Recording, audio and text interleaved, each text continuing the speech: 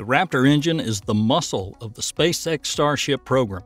33 of these Raptor 2 engines power the Super Heavy booster that serves as the vehicle's first stage, and six more are used by the Starship upper stage. For a successful lunar mission, these engines will need to relight successfully on the surface of the Moon to take astronauts back to orbit inside Starship. If the engines fail, the astronauts would probably die.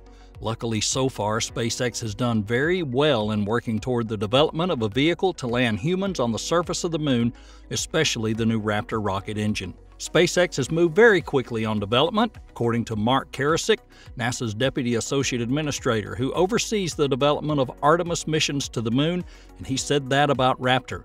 We've seen them manufacture what we call Raptor 1.0, They've since upgraded to Raptor 2.0 that first of all increases performance and thrust and secondly reduces the amount of parts, which reduces the amount of time to manufacture and test.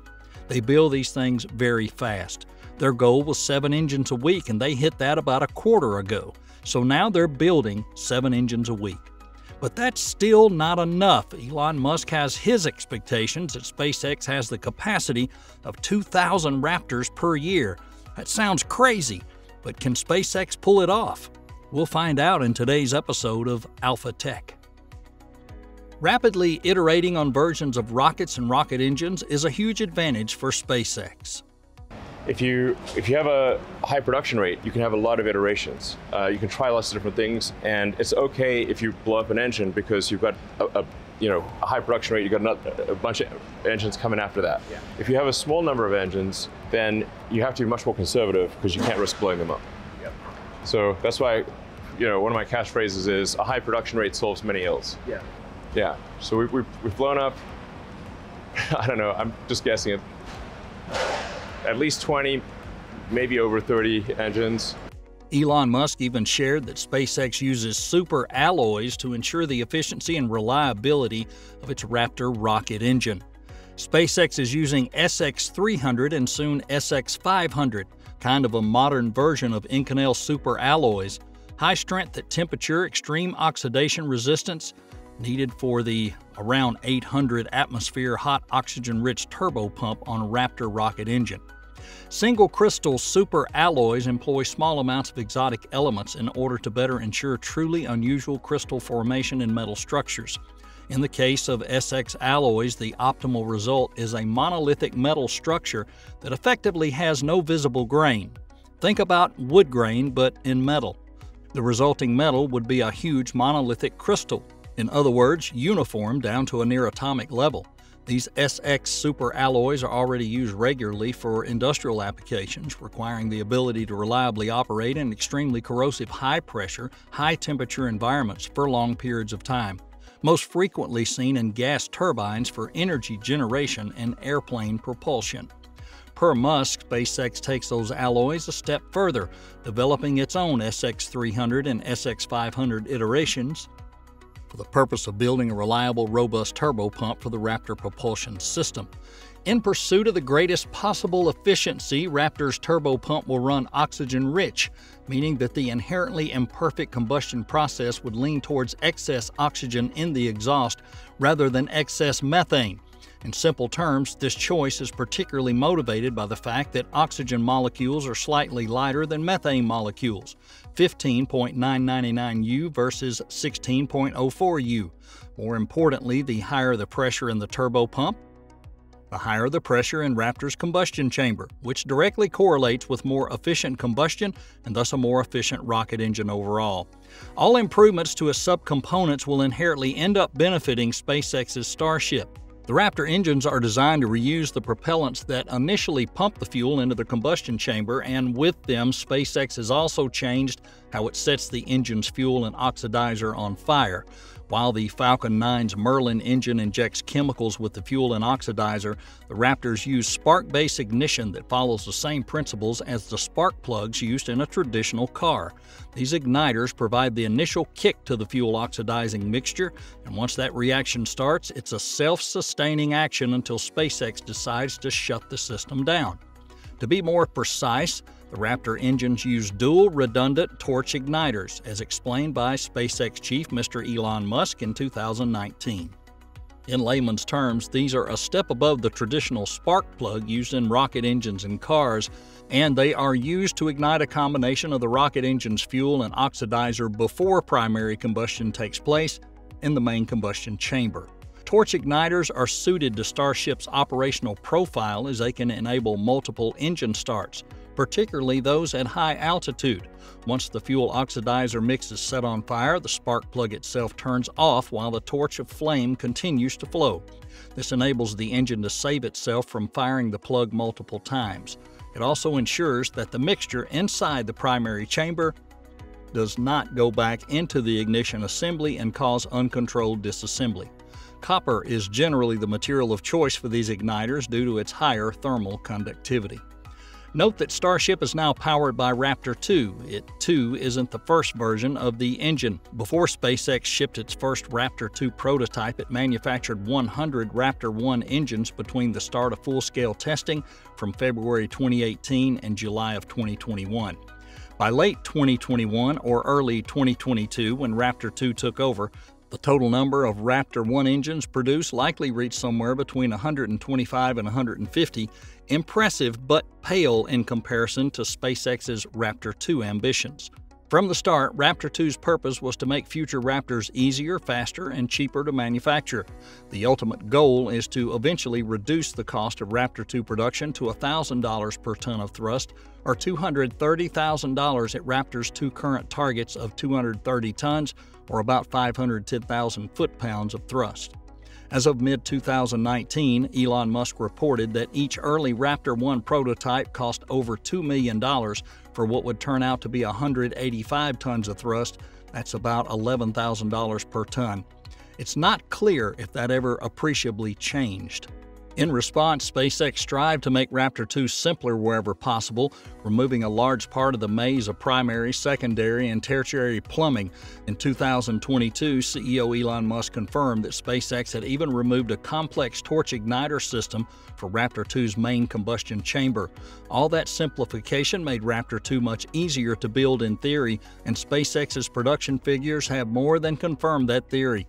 Despite those simplifications, SpaceX was also able to boost Raptor 2's thrust by 25% by sacrificing just 1% of Raptor 1's efficiency. Beginning with its first delivery in February 2018, SpaceX produced the first 100 Raptor 1 engines in about 36 months. The first 11 to 12 months of Raptor 2 production, SpaceX has delivered 200 engines. That translates to at least six times the average throughput, but the true figure is even higher. In June of 2019, Musk stated that SpaceX was aiming to build a Raptor engine every 12 hours by the end of the year. As is usually the case, that progress took far longer to realize, but in October 2022, a senior NASA Artemis program official revealed that SpaceX recently achieved sustained production of one Raptor 2 engine per day for a full week. Such a high rate likely making Raptor one of the fastest produced orbital class rocket engines in history. To put this in perspective, Raptor 2 rocket engines produce approximately 510,000 pounds of thrust. That's almost identical to the amount of thrust produced by the RS 25 engine that will be used to power NASA's Space Launch System rocket. The engine was designed and developed by Rocketdyne in the 1970s for the Space Shuttle program and the company has decades of experience manufacturing those. In 2015, NASA gave Aerojet Rocketdyne a contract worth 1.16 billion to restart the production line for the RS-25 engine. Again, that was money just to re-establish manufacturing facilities, not actually build the engines. NASA's paying more than 100 million for each of those. With this startup funding, the goal was for Aerojet Rocketdyne to produce four of the engines per year. Kirasich said that as it builds and tests Raptors, SpaceX is rapidly iterating on these processes and producing higher quality engines. The same happened with Starship. SpaceX is designing its factory here to build a Starship every 72 hours. Building one every three days would produce about 100 a year, allowing SpaceX to reach its goal in a decade. The 1,000 strong fleet, each capable of carrying 100 people, can transport 100,000 settlers or 100 megatons of cargo to Mars in the first year. Compare that to NASA and its SLS system. the big rocket that the space agency's been developing for a decade. When the SLS rocket was conceived in 2010 and formally announced in 2011, it was supposed to be launched by the end of 2016 and developed for $10 billion.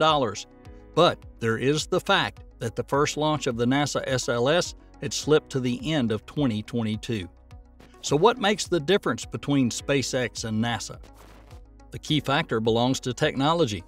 Though 3D printing had only begun to become more mainstream in the past three to four years, SpaceX had its own special 3D printers 10 years ago. They specify the shape of a tube, and no matter how complicated, this machine will perfectly replicate it over and over again. Many components of early Raptor prototypes were manufactured using 3D printing, including turbo pumps and injectors, with the effect of increasing the speed of development and iterative testing. The 2016 subscale development engine had 40% by mass of its parts manufactured by 3D printing. 3D printing is simply much faster than any conventional method and can also work 24 hours a day. The more components that SpaceX can 3D print, the faster and more efficient the manufacturing process will be. Without the ability to 3D print, it could take days or weeks to recast a component based on updated specifications. Musk and his team always have amazing machines in their possession. The Tesla GigaPress program is a prime example. It's a series of aluminum die-cast machines manufactured by the IDRA Group, headquartered from Italy. They're notable for being the largest high pressure die casting machine in current production, with a clamping force of 55,000 to 61,000 kilonewtons.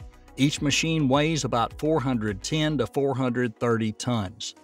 Base specification GigaPress machines had been included in IDRA's catalog since 2018 with the usage of a customized OL6100 CS GigaPress started by Tesla Incorporated in late 2020 for the production of chassis parts for the Tesla Model Y. Shots of molten aluminum weighing 80 kilograms are injected into the cold chamber casting mold with a velocity of 10 meters per second. That's 22 miles per hour or 36 kilometers per hour. The cycle time is about 80 to 90 seconds. That allows an output rate of 40 to 45 castings per hour or 1,000 castings per day. And that productivity is simply invincible. More importantly, SpaceX has an excellent team. Musk has always had a knack for hiring brilliant young engineers, busting their tail for the boss. They're clear about their goals. The rocket is being designed to assist us to reach Mars. Willingly? Why? Because Musk empowers them to go fast, do cool things, and very soon to see their machines fly. Engineers at SpaceX are responsible for not only designing and maintaining the rocket, but also designing and maintaining the system that builds the rug. In the development of Starship, prototype engineers produced a knuckle seamer, a revolutionary welding tool, and it was designed to speed up Starship dome tank production and boost weld efficiency. Engineers have also created a shielded X ray computer to check the accuracy of their welding.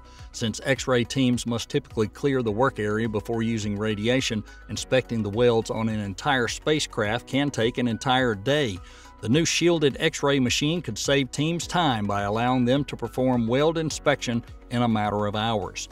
Besides, Elon Musk has had a lot of experience with a working schedule. He lived through production hell at Tesla in 2017 and 18, building up factories, changing processes, spending many sleepless nights, and going through all manner of mental agony. Now Tesla is making as many as 10,000 cars per week. And Musk has brought lessons learned from Tesla's assembly line so workers don't burn out. They'll work three 12 hour days and then have four day weekends. Then they'll work four 12 hour shifts with a three day weekend. Thus, with four shifts, Boca Chica can operate at full capacity 24 hours a day, seven days a week. SpaceX is throwing in hot meals every three to four hours for free. Back to the Raptor engine, Although SpaceX manufactures all of its rocket engines and thrusters at the Hawthorne headquarters, each must pass through McGregor, where the company tests each new engine off the assembly line as well as those being developed for future missions to orbit and beyond before each one can be used on a flight mission. The company's headquarters and factory in Southern California gets a lot of attention, but most of the noisy, dirty, and critical testing work is done just outside the small central Texas town nestled in amid the farm fields. SpaceX's engine testing facility on 4,300 acres of land in McGregor, Texas, just south of the city of Waco, is undergoing new development and testing related to the Raptor engine for Starship and Super Heavy. With five test bays, the facility will soon become a hub for Raptor 2 engine assembly, with a new factory now under construction. This is taking place as the Merlin engine and stage testing related to the upcoming Falcon 9 and Falcon Heavy flights continue. In July 2021, SpaceX announced they would be building a second production facility for Raptor engines, this one at the McGregor 4,280 acre site. The Dallas Morning News reported in July that SpaceX would break ground soon and the facility will concentrate on the serial production of Raptor 2, while the California facility will produce Raptor vacuum and new experimental Raptor designs. The new facility is expected to eventually produce 800 to 1,000 rocket engines a year. That's approximately two to four every day. If all goes according to plan, that facility could also become the highest output rocket factory ever built, churning out hundreds of Raptor engines each year to outfit a vast interplanetary fleet of starships and the Earthbound Super Heavy boosters that will send them on their way to Earth orbit, the Moon, Mars, and beyond. By then, space colonization will no longer be a pipe dream.